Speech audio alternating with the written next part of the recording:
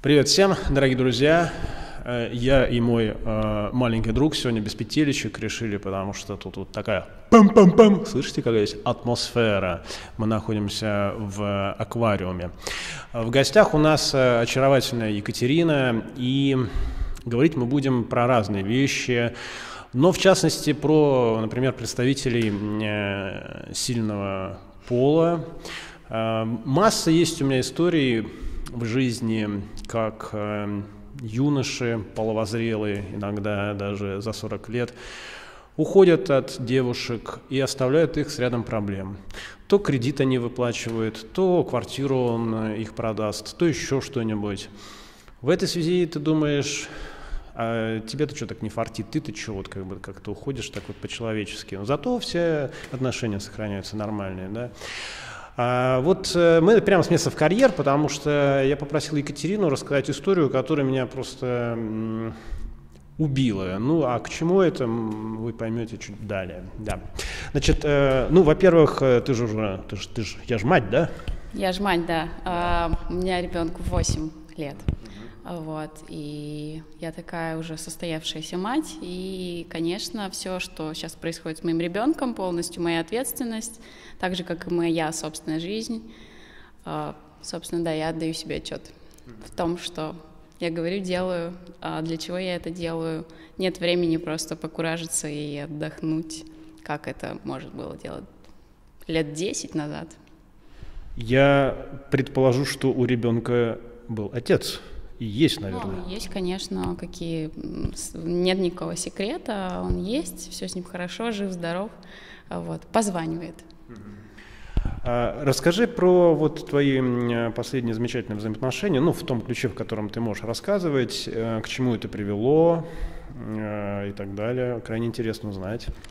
Да, ну я начну издалека, так, пошире, как обычно, как мы это любим. Я сейчас, э, собственно, так как на мне вся ответственность, занимаюсь э, тем, что я работаю, ну так, на секундочку, да. И э, эта работа довольно много времени у меня занимает э, в качестве соцсетей, ну то есть в соцсетях я провожу довольно много времени, так как тот проект, который я делаю, а именно это экологический проект, очень важный, то есть выставка в апреле, все грандиозно, много людей занято, и делаем огромную инсталляцию, которую я придумала довольно давно, почти год назад. И сейчас свершилось, что наконец-таки она случилась, все здорово, мы много сил вложили, большая команда, там больше 20 человек, вот, и тут вдруг, при том, что мы это все освещаем в соцсетях, э, приходит, э, ну, в одно прекрасное утро, куча каких-то странных сообщений а, на вроде как вот, Катя, а ты посматриваешь вообще, что происходит, что про тебя пишут? А я в соцсетях э, обозначаюсь как Ирина Берг, ну и там 100, 100 вопросов почему. Я тоже могу про это рассказать, еще никакого секрета. Э, вот. А, и то есть я не скрываю, что у меня имя другое в жизни, но я хочу себе и своему ребенку оставить какое-то количество пространства. Поэтому это такая моя территория маленькая, где, собственно, в соцсетях я под одним именем, в жизни я под другим. Все, кто меня знают, без проблем ориентируются в этих э, несложных э, задачах и так далее. Ну, короче, вот. И приходит куча всяких сообщений, я ничего не понимаю, просто огромное количество людей, потому что у меня там в Инстаграме было там 700 подписчиков, мне как бы я делаю это, потому что я делаю проект. Это такая обязательная часть. Если ты делаешь что-то для людей, ты это делаешь. Вот. Ну и я звоню, собственно, Лёше, который занимается сайтом, Инстаграмом и так далее. Говорю, Лёша, что-то происходит, и какие-то люди мне присылают запросы, а я довольно плохо в этом вообще во всем ориентируюсь, потому что я, ну, это большая работа. Я наговариваю там пост, и дальше там картинки какие-то под, подбираю, визуальный контент, говорю, как это должно выглядеть, но в целом это не моя такая основная или винная часть. На что м- человек, который всем этим занимается, говорит, Катя, не заходи. Я говорю, а что случилось? Он говорит, слушай, ну я не хочу тебя сейчас там расстраивать, потому что у нас э, на следующий день э, я должна была ехать в Москву читать лекцию там и так далее. Ты просто не заходи, а я как бы все там сделаю, все будет хорошо. Я говорю, ну, давай уж, что там не заходи, то есть как бы ты от меня все равно ничего не скроешь, я в итоге, если мне надо будет, зайду, да и все. Вот. Но, в общем, что оказывается? Оказывается то, что э, на сайтах, телеграм-каналах, э, которые рассказывают о проститутках и э, эскортницах, размещены мои фотки. Более того, размещен мой паспорт. И чтобы ты понимал, паспорт есть у меня, у моих родителей, э, ну, копия, да, и у моего бывшего. Ну и все. Ну, как бы я же разумный человек, правильно? Куда я буду выкладывать свой паспорт? Ну, хорошо. А подожди, а, а ты не проститутка? Сейчас вопрос такой. А, граждане, я не проститутка, не эскортница, никогда не была ей. И предлагать мне что-либо, я уже записала, не знаю, 8 сторисов на тему того, что Ребята, все ваши предложения вы можете оставить себе. как, какого человека потерял рынок? Посмотрите. Ну хорошо, то есть получается У так... У меня с самооценкой просто все нормально. В смысле, серьезно, ребята. Э, никаких с этим проблем. Как вы считаете, у меня могут быть проблемы какие-то с личной жизнью? Э, кроме того, что меня э, бывший жестко травмировал, и теперь мне просто вообще не хочется никаких отношений ни с кем, потому что, ну, ты после того, как э, начинаешь впахивать как лошадь, и ты думаешь, вообще, а нужны ли тебе отношения? Ну, серьезно, ты, у тебя там ребенок, какие-то люди, которые, у которых тоже есть претензии, желания, внимания они хотят все, времени, а тебе как бы надо работать, потому что у тебя тупо денег нет. И в этот момент э, ты просто такой, так, вернемся к э, нашему Морозовскому балету. То есть появилась вот эта информация, да. кто-то ее разместил, да. и методом несложных логических э, цепочек ты пришла к выводу, что это сделал твой бывший.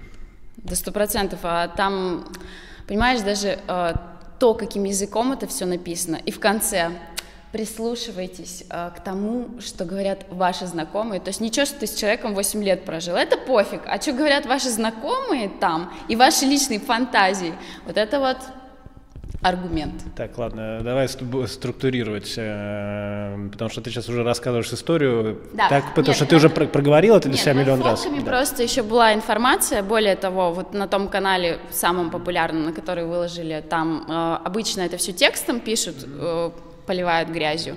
А там были просто скриншоты, то есть не, не как у остальных девочек. А вот этот текст, он был просто скриншотами под фотками размещен. Я когда зашла...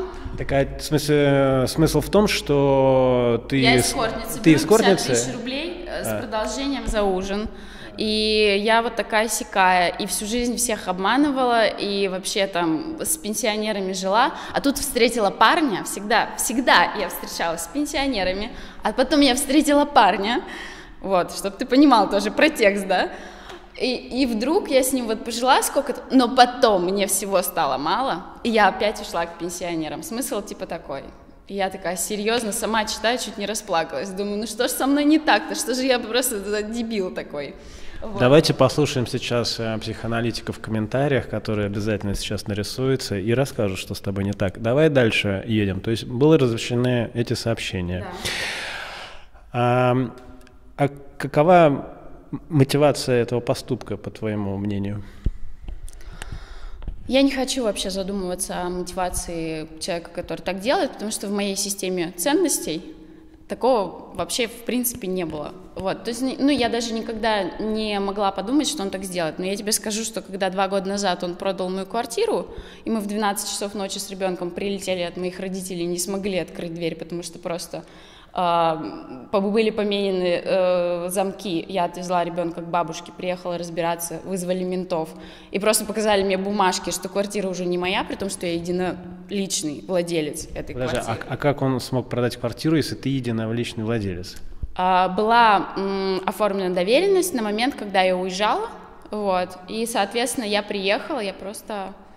Эм, никогда бы не подумала, что человек, которому я просто честно сказала, знаешь, я просто не вижу больше точек соприкосновения, мы с тобой вообще разные люди, у нас с тобой разные ценные, ценности и все остальное, уехала к маме, соответственно, после этого разговора. Приезжаю через полтора месяца, просто все, квартира продана, менты, э, замки, плачущий ребенок, который говорит, типа, я хочу спать, потому что 12 часов ночи я хочу там у себя в кровати, т.д. и т.п. И у меня, конечно, в тот момент я ну, позвонила, естественно, своим опять родителям, от которых я только приехала, и говорю, ну, слушайте, должны же быть у человека какие-то внутренние хотя бы границы вообще, ну, как бы система координат. Вот.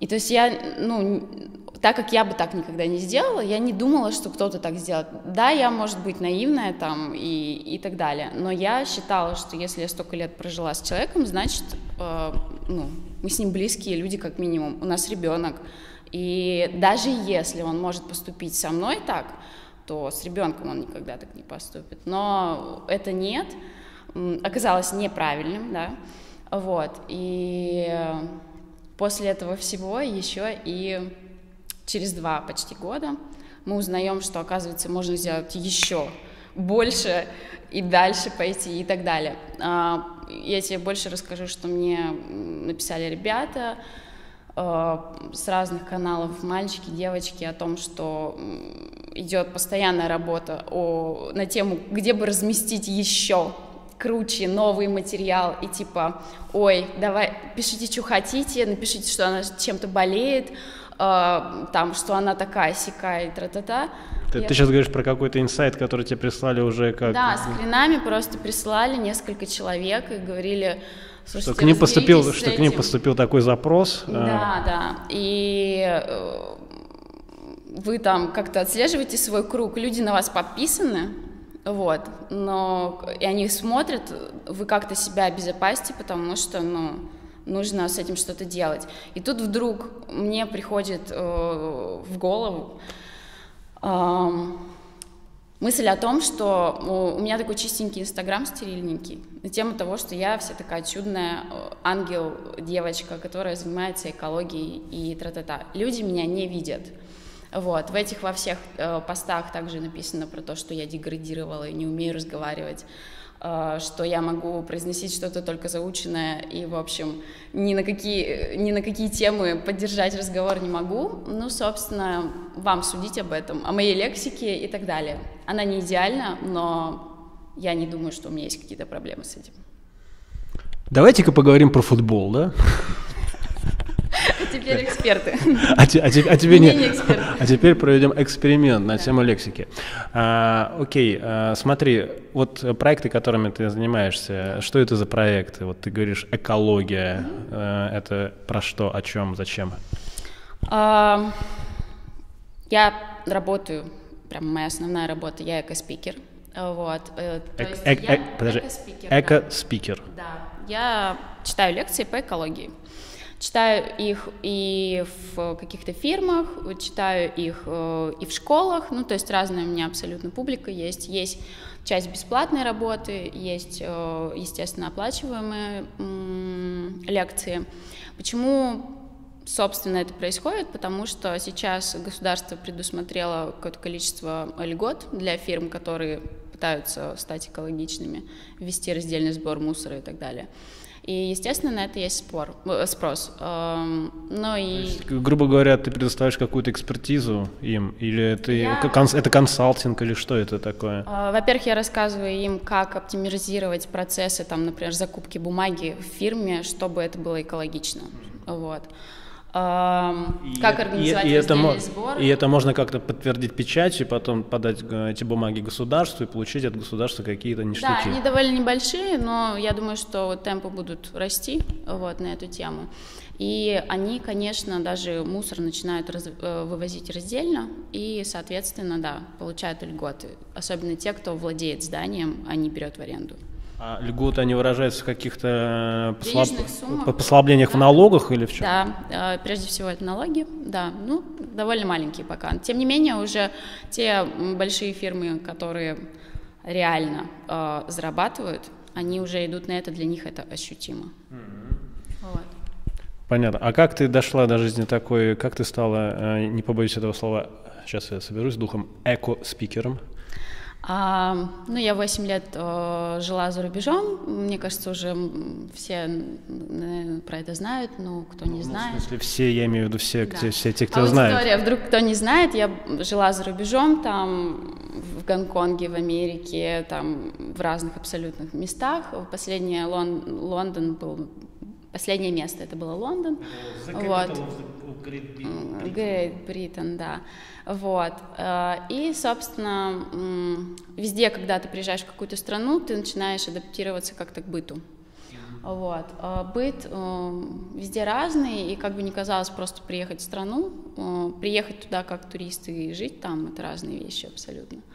Вот. Ну и, соответственно, денежками меня быстренько приучали э, и мусор делить, и следить э, за тем, что происходит вокруг. Не Ты имеешь в виду бумажки. штрафы? Штрафы, конечно. Ну, то есть самый яркий пример был, когда я в Лондон только приехала, сняла квартиру и э, выбросила коврик не туда, а потом мой сосед и я на пару 500 фунтов заплатили за ковричек, который 100 стоил. А вот. Притом мой сосед, который просто не сказал мне, что я не туда выбросила этот коврик, заплатил тоже. На что я ему говорю, ну, Грег, может, все-таки как бы я ну, чувствую как-то вину свою. Он говорит, нет-нет, я знал, я видел, поэтому да, я виноват, короче, я заплачу. И вот эта сознательность людей э, за границей, которым прям с самого маленького возраста объясняют, что, зачем и почему, она меня на самом деле поразила очень сильно.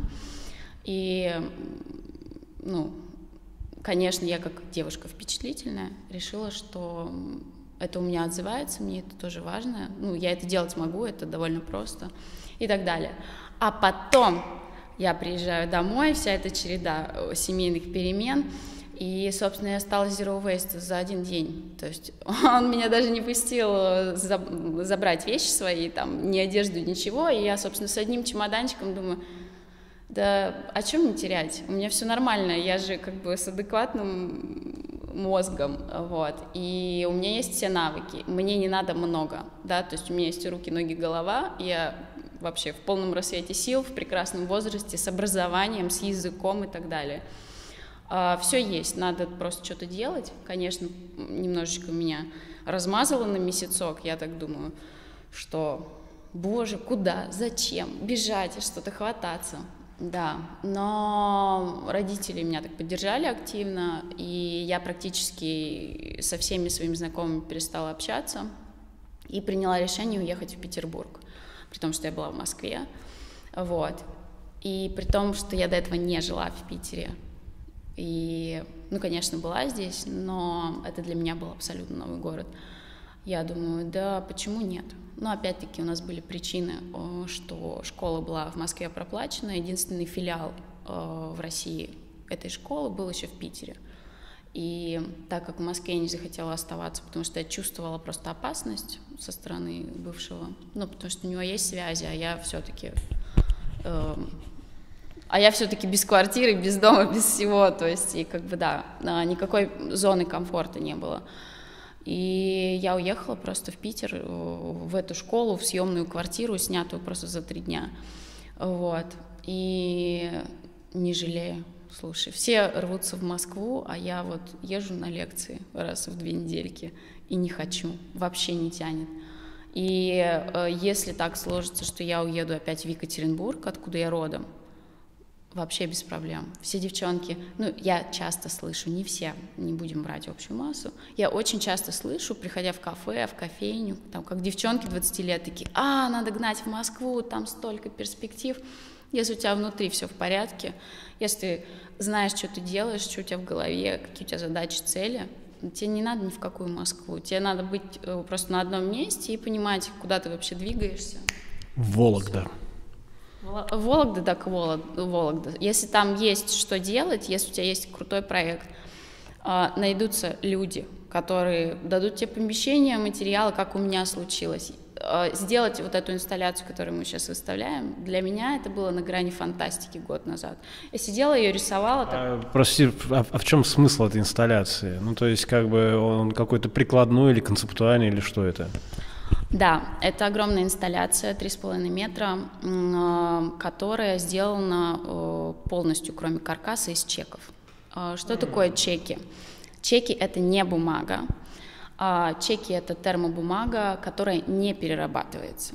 Она пропитана бисфенолом, и, собственно, при э, контакте с кожей за 6 секунд бисфенол э, впитывается вам, проникает вам в кровь, и при определенной концентрации этого вещества в вашей крови провоцирует заболевание от депрессии а, если взять немецких ученых, то они протестировали... Вот почему у меня иногда депрессия, чеки, все, я понял, чеки. Подожди, я, дай договорить. Я, не, я их так трогаю, да, надо... Часто. Часто. Приходи в мастерскую, я, у нас люди... Я трогаю чеки, и после этого впадаю... Ребята, если у вас депрессия, не трогайте чеки, носите с собой пинцеты, берите их пинцетами. Я да? еще не договорила. Самое ужасное – это бесплодие.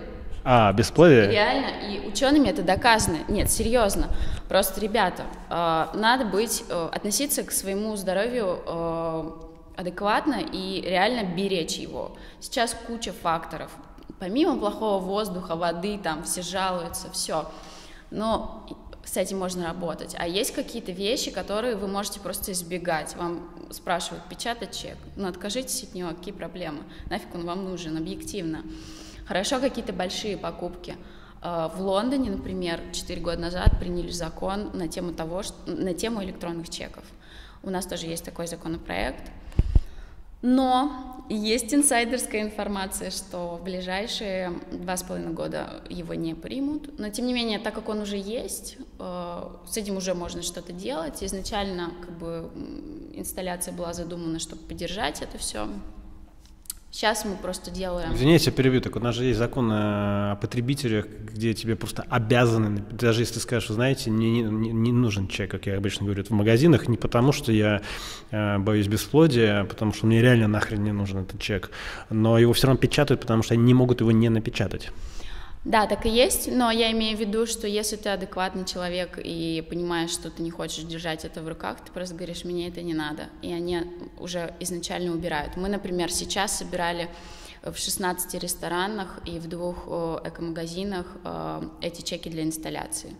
Мы собрали, вот, Паш, мы собрали, э, я печатала неделю назад 270 килограмм за полтора месяца. А сейчас у нас уже 340 в мастерской лежит, потому что нам довозят и довозят и довозят и довозят. В итоге...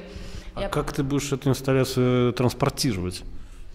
А, ну, заказываем газелькины вперед, все, все нормально. Тут грузовичков, никакого секрета в этом нет. Вот.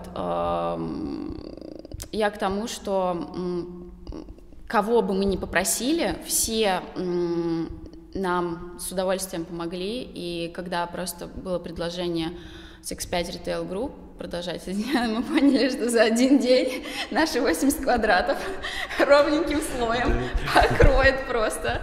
Да, я думаю, что ты скоро можешь весь Невский чеками выложить. Легко. Но... Я придумал название этой инсталляции. Check it up.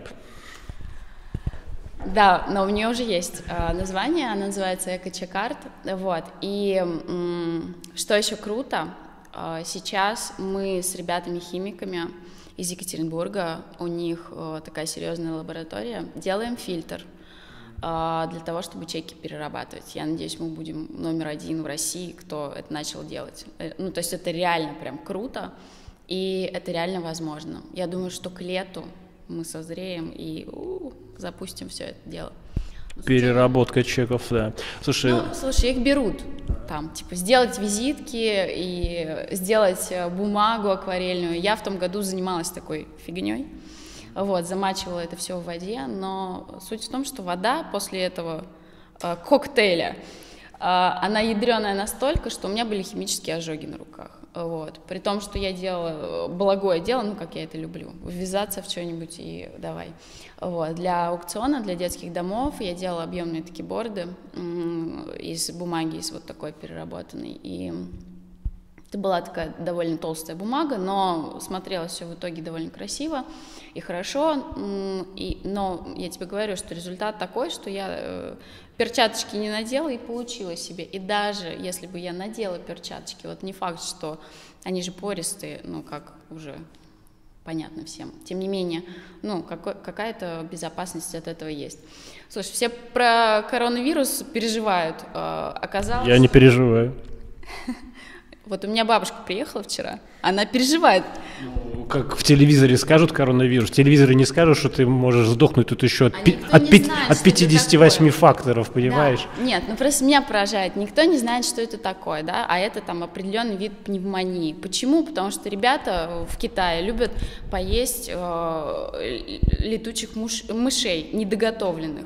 Они такие, альдента, классные такие должны быть, вот. И, собственно, от этих летучих мышей уже установили ученые, они это подхватили все. А тут реальные люди каждый день берут эти чеки в руки, бедные эти кассиры, мне их реально жалко.